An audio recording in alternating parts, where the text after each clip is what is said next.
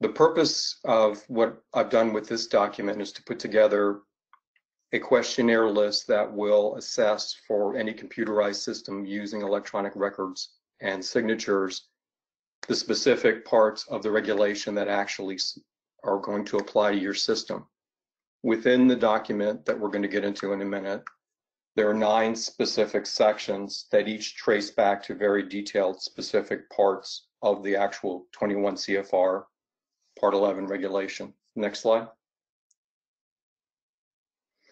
Here you can see that the questionnaire document that we're getting into has nine specific sections. On the left, you see the sections numbered one to nine. On the right, you see the specific parts of 21 CFR Part 11 that they're going to reference. Sections one, two, and three are for electronic records, whether it's for a closed system or an open system, and I'll define that for you in a minute.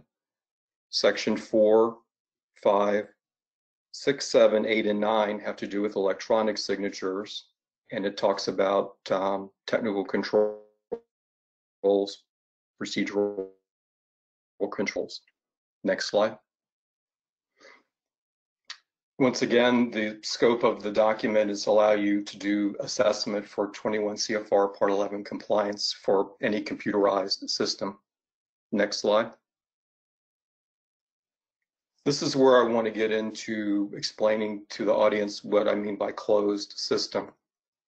A closed system is a system that has limited user access to actually get into the system and make any types of changes. It's very restrictive. An open system, on the other hand, has allowing the user to make all types of changes, and that's why it's called an open system. Biometric authentication is a way that you can identify who you are by using something like a fingerprint or a retina scan. And my example is when you go to the clear at the airport, you can stick your fingers on a keypad or you can use a retina scan to authenticate who you are with information stored in a database. That's biometric. Non-biometric, in, in fact, uses information that you know or only have access to, such as a password or a smart card. There's a new thing on the internet now where they use non-biometric authentication by showing you a series of photos on a screen, and they might ask you to, to identify all the photos of cars, and this proves that you know what the cars are and it's a non-biometric authentication methodology. Next slide. All right, this is where the document starts to get very specific. There's five different questions that are here and based on the questions response as a yes or no, it will tell you the specific sections within the document to go to. So you're not going to do all all nine sections. So with the first one, if it's electronic records for a closed system, you go to section one and two only of this document. The second one, if it's electronic records for an open system, you do sections one, two, and three only. If the system is using non-biometric electronic signatures, you do four, five, six, seven sections of the document only. If the system does not use biometric electronic signatures with tokens, you go to section four, five, and eight only. And finally, if the system uses biometric signatures, you would go to sections four, five, and nine. Next slide. So now what I want to do is show you for each of these sections, the, this lists the specific regulation within 21 CFR Part 11 that applies. And what I'm going to do is read you the specific questions that are under each of these, and you would answer yes, no, or not applicable. So for 1110A invalid records, the first question is, the system must be able to detect invalid records where applicable, such as invalid field entries, fields left blank that should contain data values outside of the limits. Second question for 1110A, the system must be able to detect that a record was altered since its last approval. Then for 1110B, it must be possible to view the entire contents of the records. Again, for 1110B, it must be possible to print the entire contents of the records. Again, for 1110B, it must be possible to generate all the records electronically in a format that can be put on a portable medium such as a diskette or CD or transferred electronically. Now for 1110C, if data is archived off the system, the metadata audit trail must be archived off as well. Again, for 1110C, archived data and metadata must be accurately retrieved even after system upgrades are done. Again, 1110C records must be protected against intentional or accidental modification or deletion. Then for 1110D, the system must allow different levels of access based on user responsibility, such as regular user administrator if appropriate. 1110E for electronic audit trails.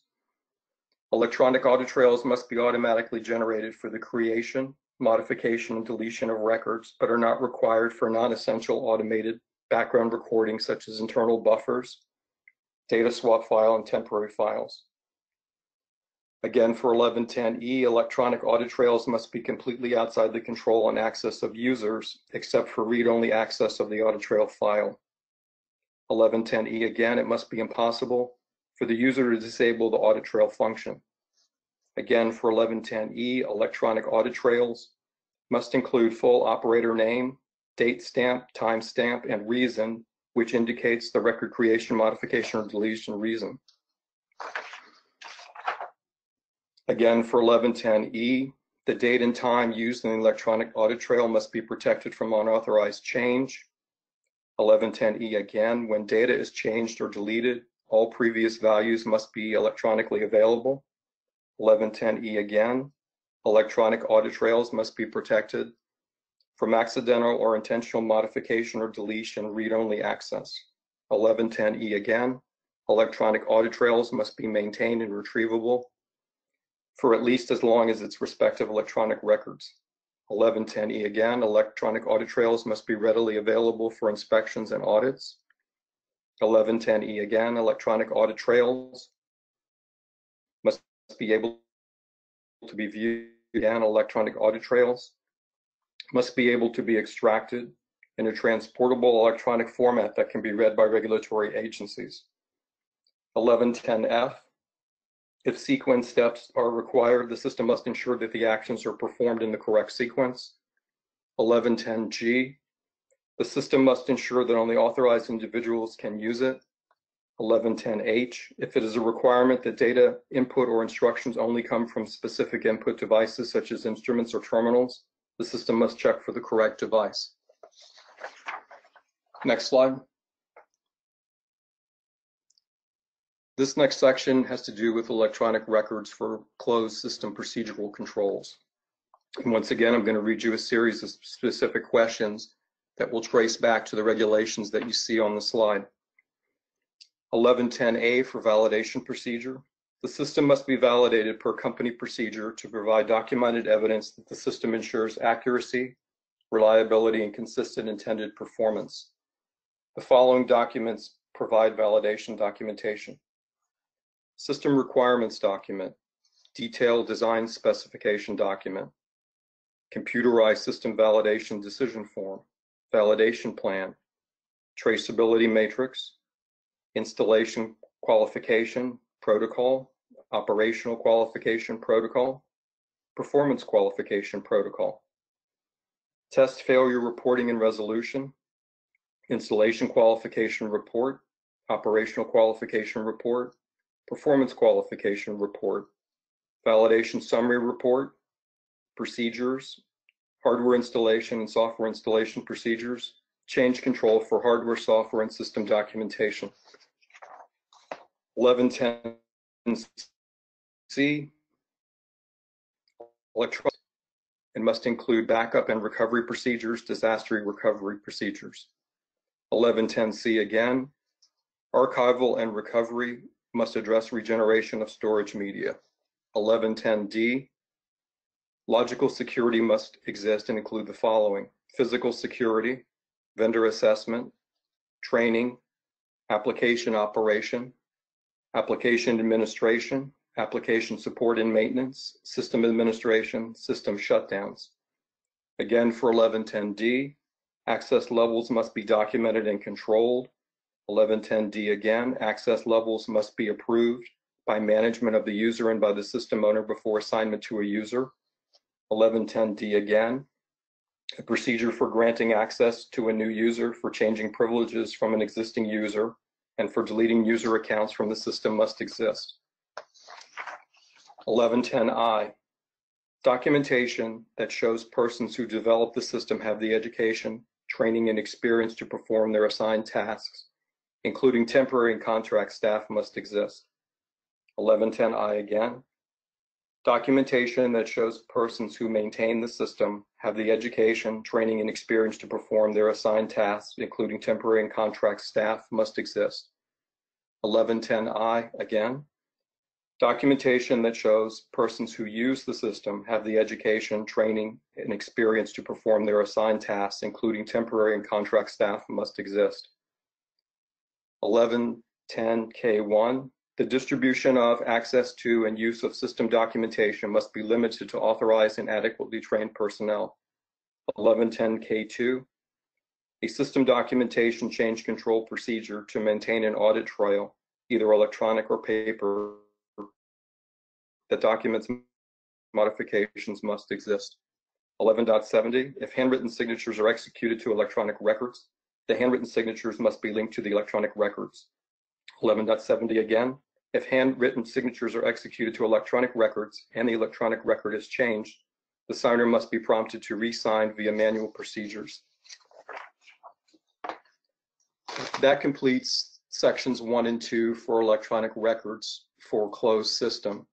And then for electronic records for an open system, you would complete sections one and two that I just did.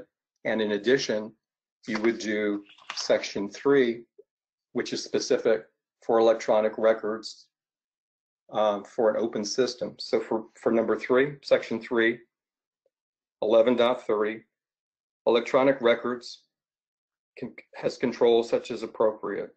1130 again, controls must exist that ensure record authenticity, integrity, and confidentiality is maintained.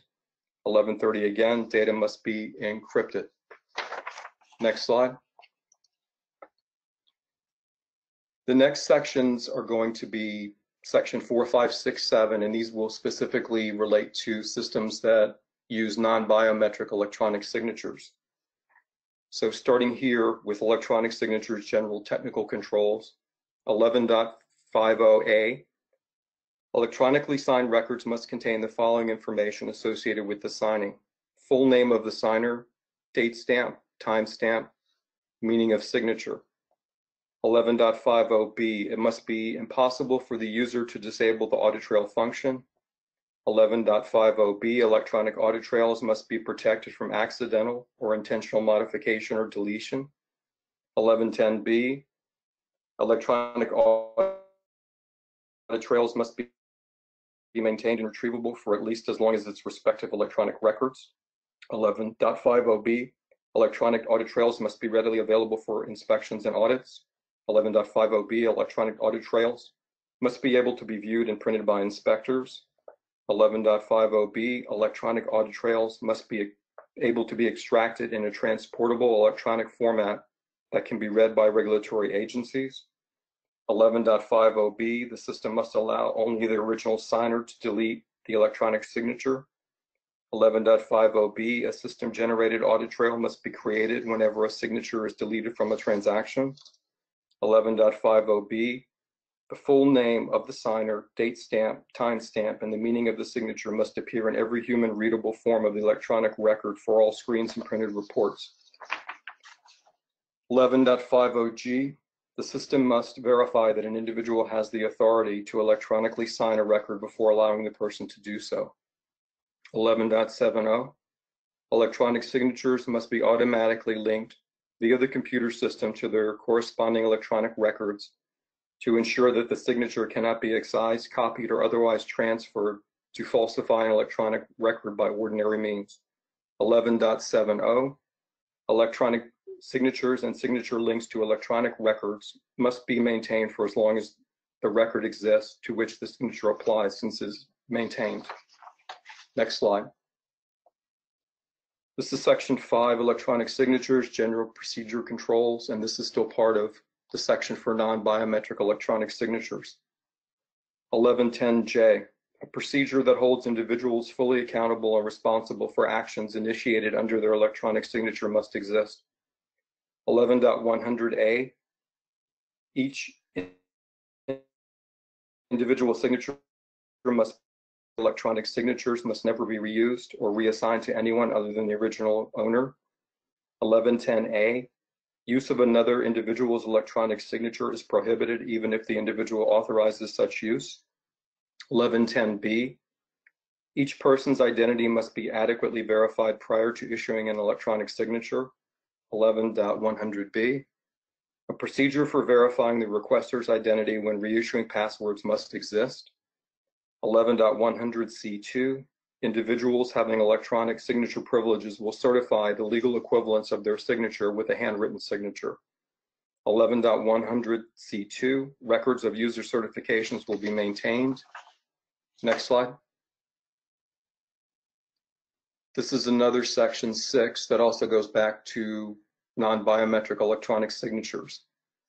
11.200A1, non-biometric electronic signatures must be made up of at least two distinct ID components such as an ID code and password. 11.200A1I, two or more non-biometric electronic signature components must be required for the initial signing if continuous signing sessions are used. Where the initial login to the system requires an identification code and password, this initial login may be considered the first signing.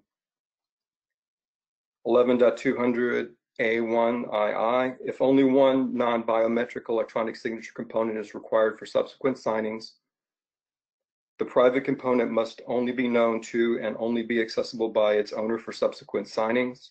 The user must be required to stay in close proximity to the workstation for the entire session. An automatic log off must occur or a password protected screensaver must launch after a short period of inactivity with the password known only by the one used on I. For non-biometric electronic signatures, when a user leaves the workstation, uncontrolled system access must be limited through the use of automatic timeout and password security measures. If single session security cannot be maintained, each signing must be required for all components of the electronic signature. 11.300A. Password files must be encrypted or otherwise secured so passwords cannot be read by ordinary means, including system administrators. 11.300B. Passwords must periodically expire and be revised. 11.300D, repeated attempts at unauthorized system use via a non-biometric signature must result in automatic disabling of the electronic signature. 11.300D, any attempts to any unauthorized use of non-biometric electronic signatures must be detected and reported immediately to the system security unit and as appropriate to organizational management. Next section. This is the last section for non-biometric electronic signatures. 11.200A2. Non-biometric electronic signatures must be used only by their genuine owners or and cannot be loaned to co-workers or supervisors for any reason. 11.200A3. Non-biometric electronic signatures must be administered and executed so that unauthorized use requires the collaboration of two or more individuals. 11.300A, controls must be in place to maintain the uniqueness of each combined ID code and password so that no two individuals can have the combination of ID code and password. 11.300A, controls must be in place to prevent 300A. Passwords must not be disclosed for troubleshooting or loan to another individual. 11.300B, a procedure for recalling ID codes and passwords when people leave or are transferred must exist. 11.300D, a procedure for investigating attempted security violations must exist. Next slide. This slide specifically goes back to the question, does the system use non-biometric electronic signatures with tokens? For that, you would go through section four and five, which I've already read, so I'm not going to reread that. And then in addition to section four and five, you would do this section eight, electronic signatures, non-biometric with, with token controls. 11.300A, a procedure directing action to be taken to electronically deauthorize lost, stolen, missing, or otherwise potentially compromised tokens, cards, and other devices used to carry or generate electronic signature components and for managing and controlling temporary and or permanent token card replacements must exist. 11.300E, a procedure addressing the initial and periodic testing of devices such as tokens or cards that bear or generate ID codes or password information must exist. The test must include checking for proper functioning, performance degradation, and possible unauthorized use. Next slide. This slide goes back to the question, does the system use biometric signatures? You would do section four and five, like you would with the other, other question about non-biometric electronic signatures with, with tokens. And then in addition, you would do this section nine, electronic signature biometric technical controls. So with this one, 11 dollars must be designed to ensure that only their genuine owners can use them. Also for 11.200B, biometric controls must not re rely on repetitive actions alone, such as typing an ID code and password or writing a signature on an electronic stylus pad unless additionally identifying